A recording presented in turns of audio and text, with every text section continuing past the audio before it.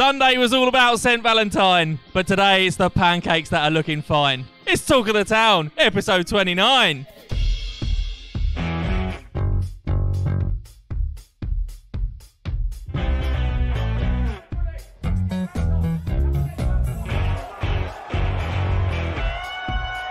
when we lose a player like Matthews, obviously the left-footed delivery that, that he brings, it's good that we can straight away come in to replace that.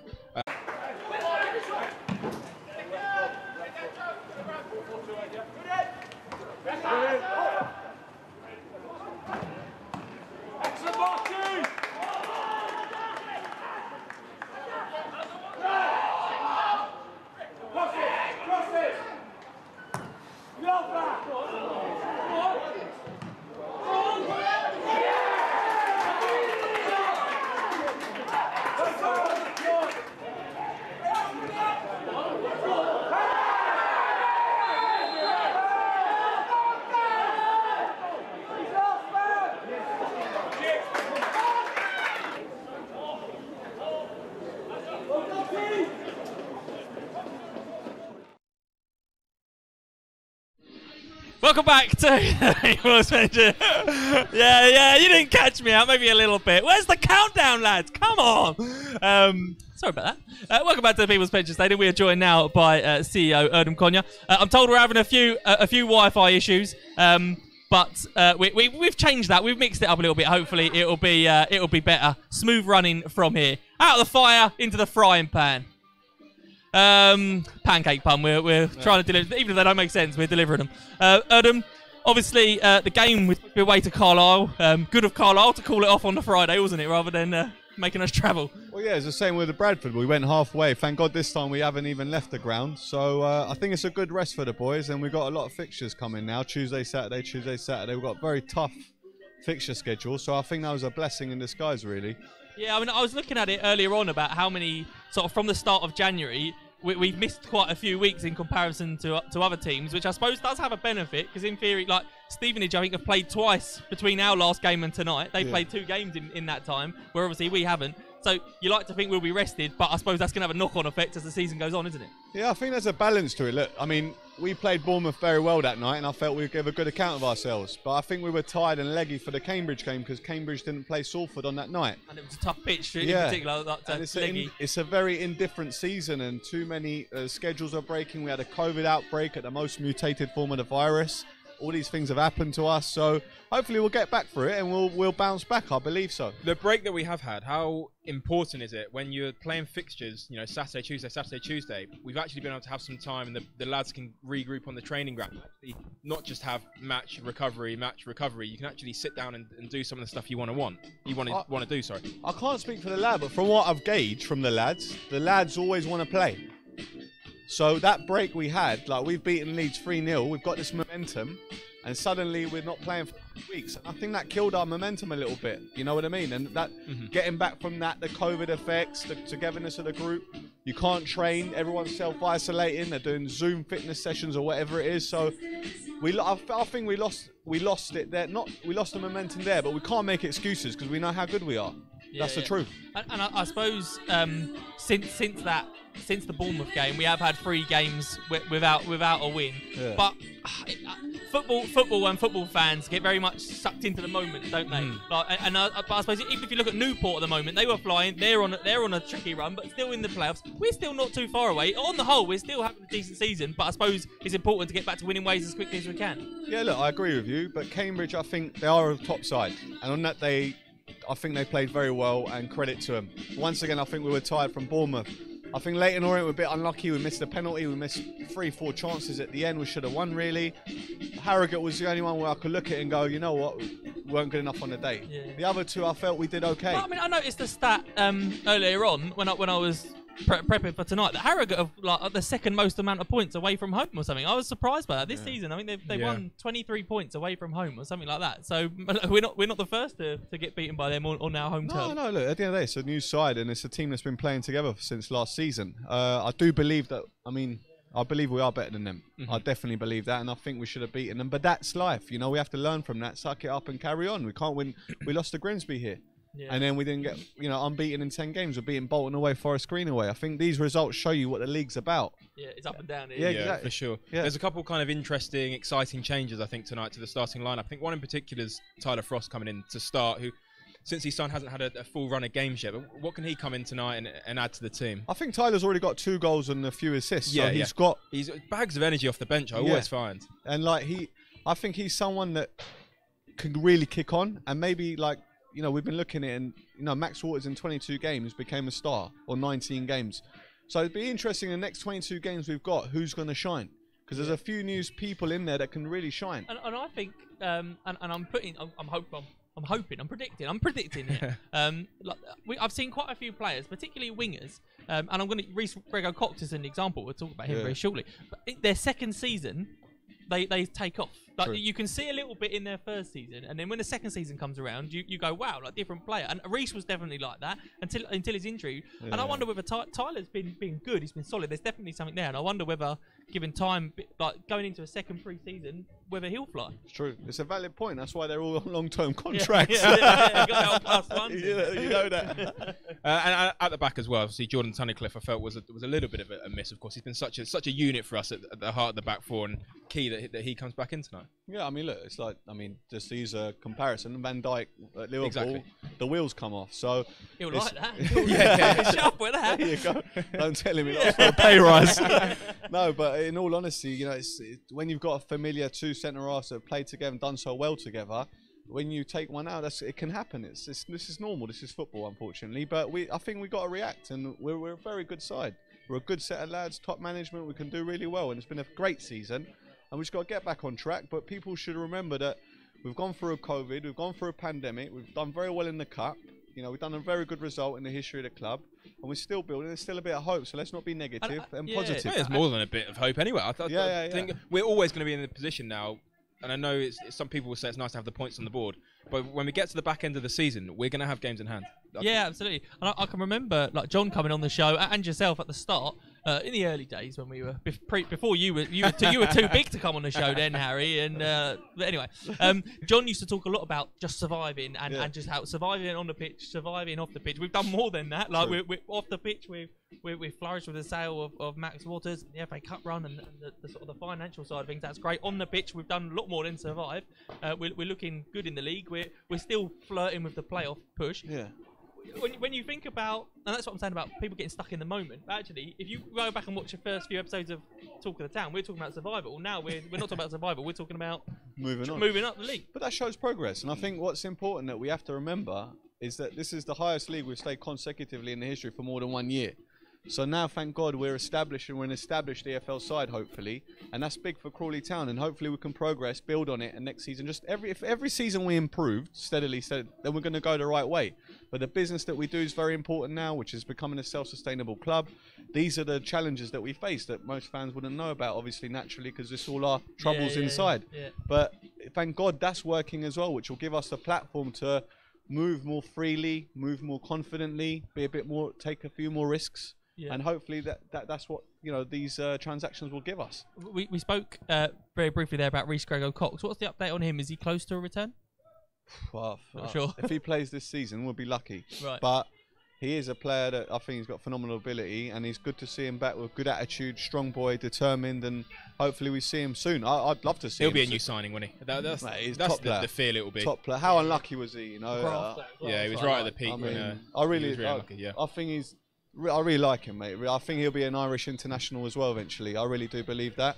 Hopefully, he gets over this injury, but he's such a strong boy and he's determined, good attitude as well. So he's a he's a delight to have. I think all of the boys are good, Mhm. to be fair. Uh, and um, so that, that that's reminded me t- talking about Irish internationals, James Collins. Oh, yeah. But I saw you talking in the week about um, how we've got, and I know you spoke to me before about how we've got assets in the Yeah. in the football league. James Collins being one. We, Panutche seems to be doing really Yeah, well yeah. down in I'm Plymouth. proud of him. Um, yeah, Frying, yeah. frying pan. Uh, there you go. Frying, Frying pan frying, Camara. Panutche Camara. Pancake Camara, there you go. nice, well done. There you Harry. Um, yeah, I suppose I suppose we're hoping that, that these players go on and, and do well because that obviously will mean we're doing well financially. Well, look, it, it gives us another look. When you come in, you got zero percent sell on, right? So after five years, you got let's say 150 percent sell on, and you've got assets within your club. So therefore, you've got assets outside that can also bring you money. So you're spreading your risk on increasing your stocks outside. Is it a guarantee? No, but it's a chance, and it's a better hand than the hand that we had. Yeah, yeah. But hopefully, like with Colo, you say that, but his contract's running down. It, it's a model. Um, I- I'm sad enough. I, I listened to uh, Darragh MacAnthony's Yeah. podcast, and he talks a lot about it. About how, firstly, he does it to lower league clubs, to non-league clubs. He'll, he'll Yeah. buy a player off of them and give them a, a big sell on, so they do well out of it. But also, when he said, I'm assuming he probably got a big sell on with Ivan Toney, Yeah, and course. that, that's the model they've had for a long Yeah, time. and it Uh, works. we actually benefited from it I from think Gwion Edwards. The other Yeah, thing, as true. from a fan's point of view, I think part of supporting Crawley is that you get a player come to the club, you want them to do well, and then once they do make that step, like I feel like I'm, I've got a commitment to, to their career as well in a, in a little you, way. you often see people comment about Karlan and um, Karlan Karlan Grant, when yeah. Hope yeah, made his Premier League debut, that was a similar yeah. kind of thing. I think the successful tr- models at the moment you can see are Brentford, Peterborough, Accrington, and Exeter. These are the football Yeah. models in the EFL that are working, and we got to try and be like that and try. And we are. We're trying. Like if you looked in the last two years, I'd say we're in the top seven in League Two in transactions, and I'd say we're probably in the top twelve in League One with what we've done. So that's good. And it, we just got to keep on building. We're nowhere near where we want to be because we want to be like Exeter. You know, Yeah, six. yeah. You know, he's probably got six million in the bank. yeah, yeah. Lovely. So you can hold on to players and get max price. Not like us, where it's a bit. You, uh, in a moment, you're still not struggling, but You're you're, still balancing fighting. the books, Yeah. yeah. Does it put you in a nice position in going into this summer with any other potential clubs that might be, you know, having a look- having a look at the players we've got in this group, knowing that you can fall back on, on the money that we've sold from Max in, in the window in, in January? I think it's set the bar higher for ourselves. So in a way, it's it gives it, it gives us a test, and I'm I'm hungrier now to go again. Like I want to I want to go into the market in summer and Ball really has give got an everything. offer on. If you're hungry, Sorry. Ball has got an offer on. If you're hungry, five pound burger chips and a drink. Match day offer, five pounds. Sorry, there you go. Just get that one in. Yeah. No, look, fuck. Sorry, any any, any, any chance, any chance, any chance. Quickly, move on. no, honestly, like, hopefully we do the Yeah. business in the summer. It is important we do. What are you doing to me, mate? sorry. No, I was just thinking to myself. I'm talking about the importance of this club, and you're about burger and I chips. well, come on. Well, where's his mind at? Can't keep a good marketing man down. Oh, God. I was just thinking to myself as well. Like I was thinking when we. When we were in the early days up in the pod, like the, the conversation was a little Yeah. bit like me trying to Yeah, trying to true. very It flows slow. now. We, we sound for ages. Like we're, they're, they're sitting going, "Come on, chop chop, move on." Odin, thank you very much No, for joining you, us. Odin, Uh, thank thanks you. for the insight. We are going to move on. Uh, we spoke a little bit there about Tyler Frost. He took part in a new challenge here, sponsored by Complete Turf Care, along with Stuart Nelson, who's over my shoulder. He's pitching in with Complete Turf Care. Here we are again. There's a lawnmower. And there's a man who we call Ben. Meet Ben. Say hello, Ben. Hello, Ben. From Complete Turf Care. He came up with the idea of pitching on the pitch with a golf club. That's right.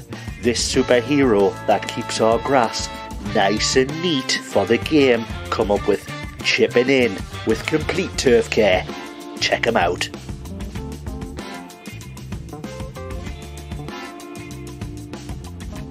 Hello, Reds fans. Welcome to Pitching In, brought to you by our friends at Complete Turf Care. We know we've got uh, a lot of keen golfers within the squad, and we really want to test their golfing skills using our very high budget chipping net. How it works each of the lads are going to have five shots. They'll be chipping in from three different distances. We're going to put the net at the six yard box, the penalty spot, and finally the halfway line. It'll be pretty miraculous if anyone gets it in from there, but it's all good fun. There'll be three possible scores. We've got 10 points for the outer rim, uh, 25, and 50 points for that inner red circle. When we move to the halfway line, if any of the lads can get it in from there, scores will be multiplied by 10. Let's play golf.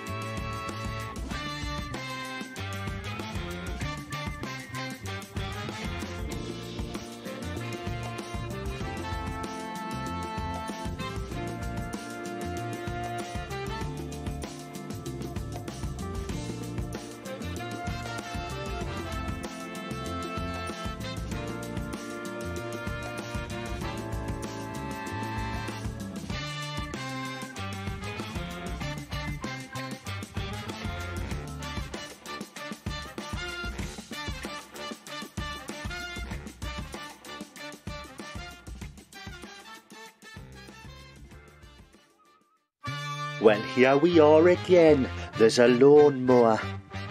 And there's a man who we call Ben. Meet Ben. Say hello, Ben. Hello, Ben. From Complete Turf Care.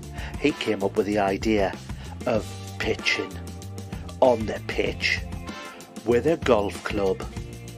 That's right, this superhero that keeps our grass nice and neat for the game come up with chipping in with complete turf care. Check them out.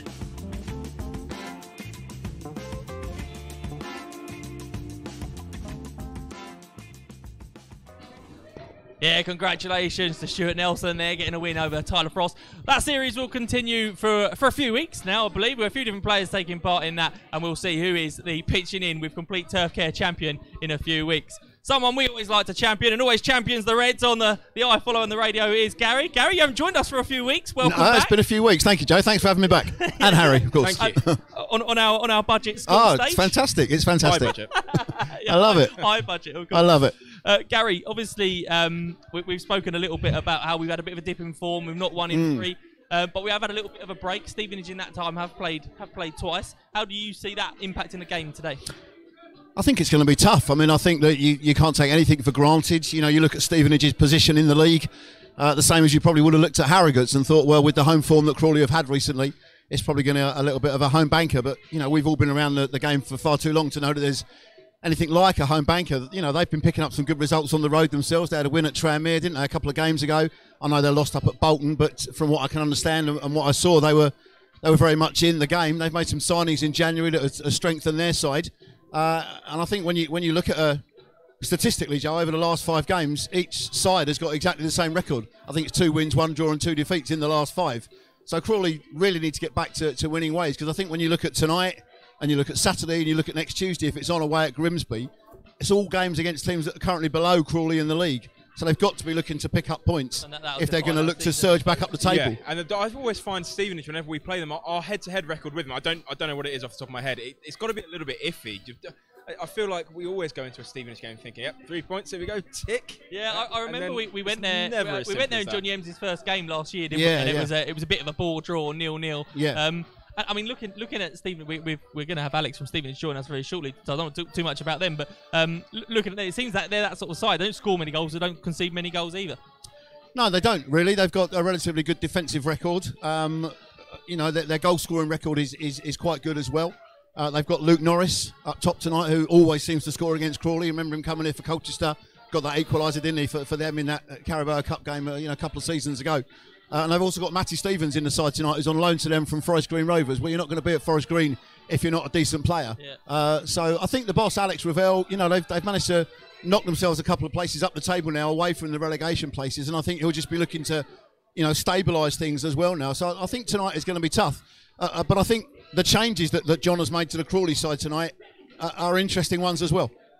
And you, so you see bags and bags of, of Crawley matches. What did you make of those two home games, the Orient and Harrogate games? Because I, I said to Joe at the start of the show that I maybe felt it didn't suit us playing against 10 men really in, in either of the games. So hopefully it'd be a more expansive kind of 11 versus 11. I think that suits us better. Yeah, I think it's hard, isn't it? Sometimes people think it's easy against 10 men.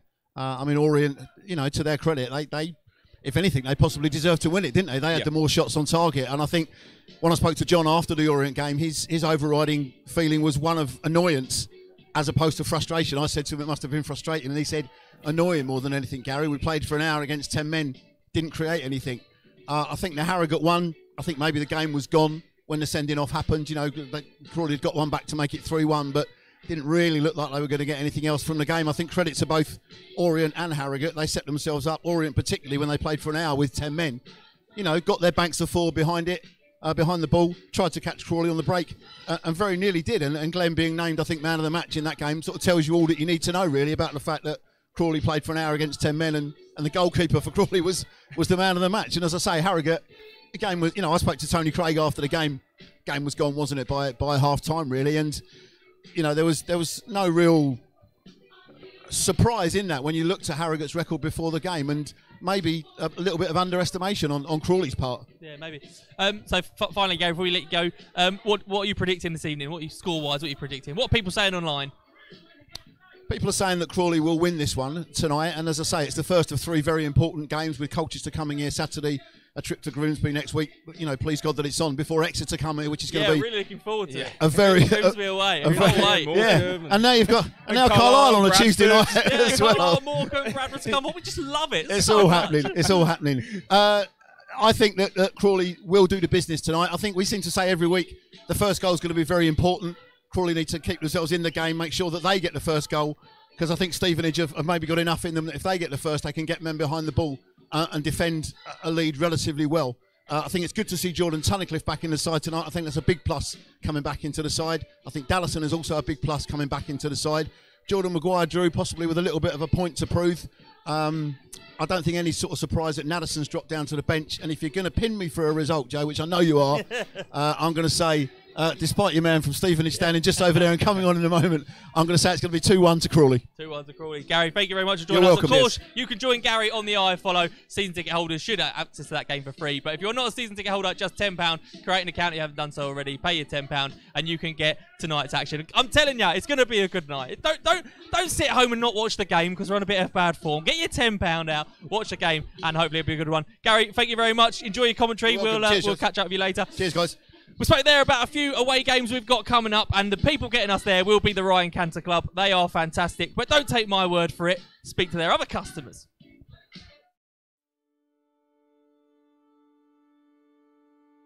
Hi, I'm Debbie Hay. I'm chair of the trustees of the Dame Vera Lynn Children's Charity. We're based at Cuckfield in West Sussex, which is not a million miles away from the Ryan Cantor Club. Hence why Keith and the club have helped us over the past year or so. The Ryan Cantor Club supports us by providing us with a vehicle, which is fantastic because it means our outreach worker can, can go out and actually visit families in their houses. Lingfield needs two, two chase vehicles all the time, obviously for all the races. Um, it being the busiest racecourse in Europe, that's a lot of races. And our then car supplier um, was restructuring the business, should we say. So, yeah, so we had a bit of an immediate problem, and I was introduced to you via email, I think, and then I popped up at your office one day and uh, Yeah. sat over a coffee, if I remember rightly. I really wanted to invite you here to get your new car because eight years ago we did a video of you collecting a new car from us you did? at Brighton Racecourse. So we thought, why not collect your new car at Lingfield Racecourse? Yeah. So it's it's been great. I mean, we don't see each other very often, but we have dealt with each other, probably Mark and I, for what, 10, 10 years? At least 10, probably more. Yeah. Yeah, yeah. What we're trying to show to all of our customers and potential customers is that we are nice people to deal with. We value our customers for years. We go with them through the good times and bad times, but we never leave each other. Well, what we're trying to do through through the Canter Club is offer people that simple solution. And what we've found, I mean, we've been doing it what three years now. If we have a customer that's broken down or they've had an accident or they've got a flat tyre, they ring you and it's dealt with. And the other thing is obviously you run a lot of vehicles and the Canter Club's been able to help you with your vehicle supply, so we actually work together and dovetail, don't we? You've always got a solution for it. Yeah, no, we have. That's why we get on so well, Andy. It is.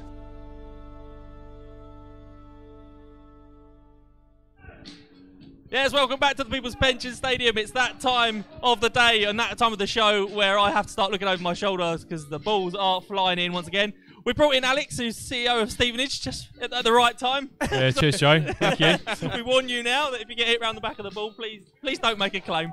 Um, uh, Alex, Stevenage, sort of l- last year, fortunate really to, to stay up from obviously there are a few things with Bury and, and Macclesfield that, that enabled you to stay up. But this year you seem to have got yourselves together a little bit more and, and making progress. Yeah, look, last year was a really difficult season for us for a whole variety of reasons, really. And who knows what would have happened? We had 10 games to play when COVID broke out. We had to play eight of the bottom 10 and six of the teams of others. Look, maybe we could have done it, maybe we wouldn't have. But that said, um, look, we, we, we survived. Uh, it's a very unique story. um, we had three weeks to prepare for life in, in League Two again. Uh, and I think that's probably shown the, the first half of our season. We've had a lot of players we brought in thinking we'd be in the National League, um, and we, you know, some of those players have, have managed to cement themselves a place in the side. Some of them have, have moved on now. Uh, we've done a lot of strengthening in the transfer window, and, and our form in recent weeks, really, since the start of the year, has been one that would probably be of a mid-table side that's maybe even pushing for a playoff spot. Yeah, yeah. Well, what, one thing I noticed, and I just said earlier on to Gary, that you, you've actually conceded less goals than Crawley. So despite us being sort of quite a number of points ahead and higher in the league, in terms of goals conceded, you, you don't concede that many goals. You just seem to struggle to score them. No, we, we had two bad trips on the road, one at Carlisle and one at Exeter, where we shipped a few goals. I think it was seven in the two. But if you take that away, we've been uh, we've been fairly resilient at the back. It's been it's been the other end that's been the more difficult part. And we, if we lose, we lose by the odd goal. But um, that's certainly starting to change in recent weeks.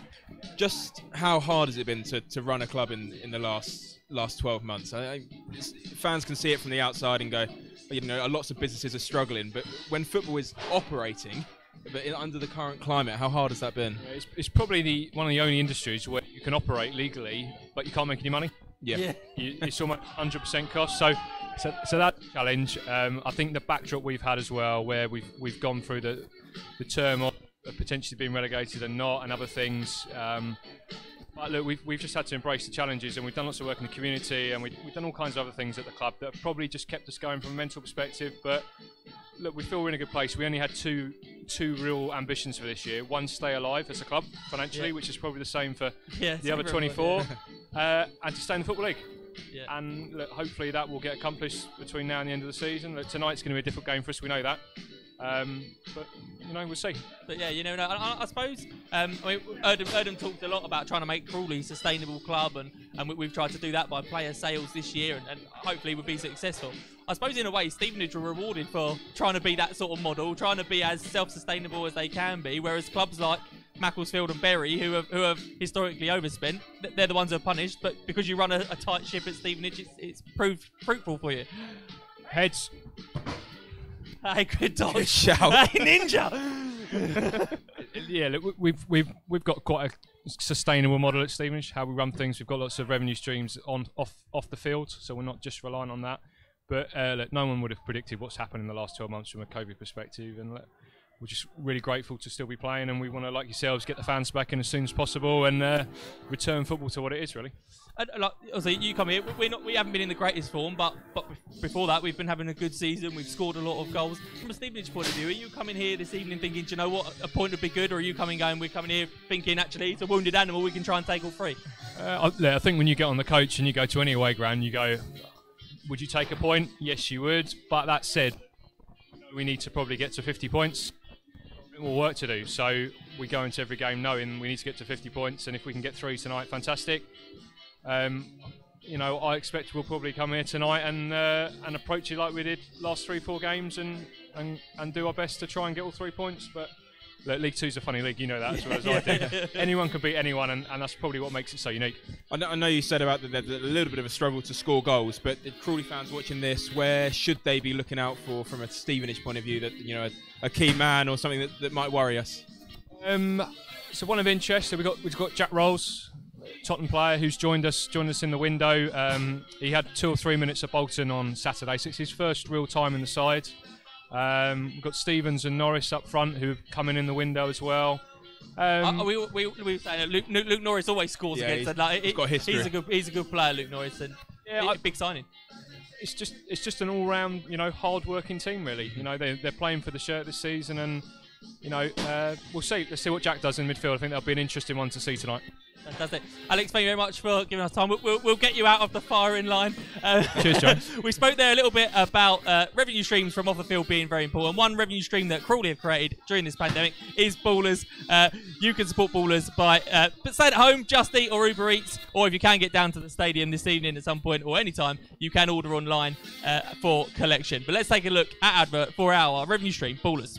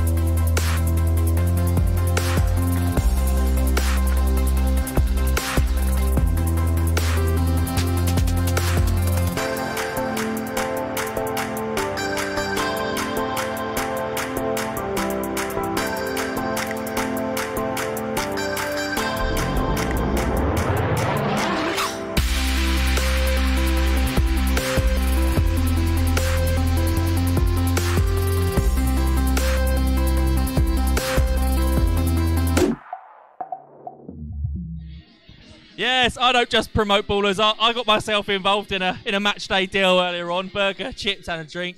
Don't tell the wife. I'm, I'm supposed to be healthy eating. I was like, don't worry, I'll eat. I'll She'll see it out the joint account. yeah, yeah, sorry, love. Um, let's run through that team again in goal today. Glenn Morris, uh, George Francomb, and Tom Dallison at fullback. Uh, Jordan Tunnicliffe comes back into the side to partner Tony Craig. Uh, then in the midfield three, which is quite a familiar midfield Mm. three of uh, uh, Josh Wright, Jack Powell, and Jake Hessenthaler, and then sort of uh, attacking. We think maybe maybe sort of giving us some whip today. Tyler Frost, Jordan Maguire, Drew, and Tom Nichols. Harry, we obviously we. Some people seem to think we have, we have struggled over the past few weeks. Slight change today. Uh, Do you expect it to be a positive one? I think it, I think it I think it has to be in, in in a sense that I think maybe throughout the course of the season this is when things were going really well as well.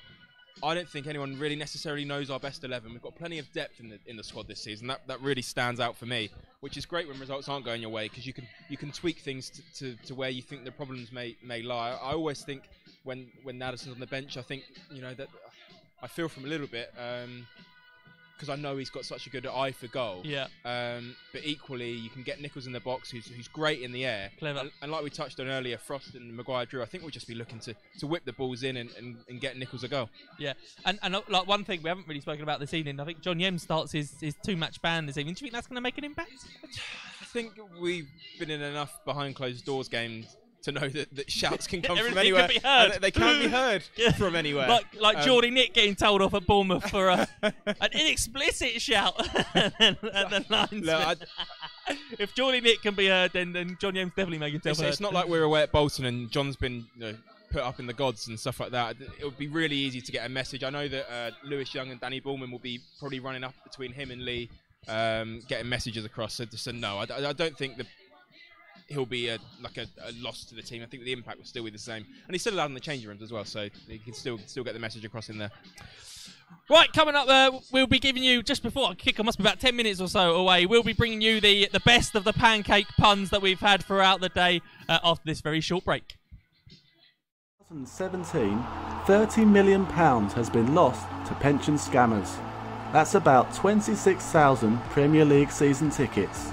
During these uncertain times, it's more important than ever to defend your hard earned money. Be on the ball to anyone contacting you out of the blue. Find out more about pension scams and how to avoid them by visiting our website. Right, what better way to, to go out on the show this evening than bringing you bringing you the best of the pancake puns here. Uh, Luke Moore, I, I said it. Luke Moore is the one who needs all the credit. Congratulations, Luke. Nick Sirupla, well you, played. I Joe hasn't stopped talking about so this for a good couple hours now. Sirupla, fantastic. well done, Luke. Uh, that's what we know. We got Sam Newton, Pancake Camara, Nick Smith, Jake Hessentosser, uh, Paul Searle, Josh Chockety. Yeah, nice, like that, like that. Uh, Andy Salmon, Glent Morris. Yeah, Glent Morris. simple. You Love like it, that, love you? it. You love a bit of Glent Morris. Uh, thank you very much for joining us. We'll be back here on our high budget stage on Saturday when the Reds take on Colchester. For now, you've got a couple of minutes. Make yourself a cup of tea, pour yourself a beer if you're that way inclined. Uh, uh, get yourselves over onto Get yourself a pancake. Get, yes, you might Let's have a bit of time. time. If you got a little bit of leftover mix, go on. Well, pancake, get get in your your frying pan- Panutche Camara out, and uh, this has gone downhill. Yeah. Um, yeah, whatever you're gonna do, do it quickly because the game kicks off in just ten minutes time. Thank you very much for joining us, Harry. Thank you very Cheers. much again. Thank you very much to the filming company who once again have been slightly above average in putting on the show. Sorry for the Wi-Fi issues that we've had. We had some sound issues. Always issues. What's going on here, boys? Come on. So no, no more issues. Supposed to be here at four. Anyway, uh, thank you very much for joining us. Enjoy the game. All that's left for us to say is, come, on, you Reds. What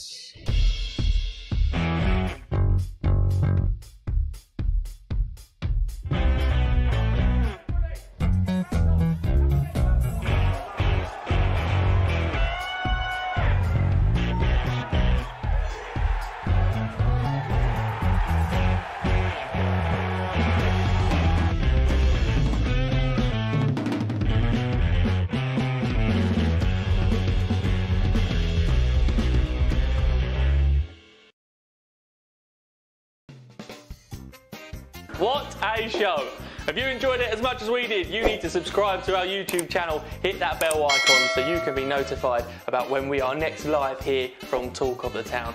Make sure you don't ever miss an episode. Subscribe, hit the bell, and we will see you again very soon.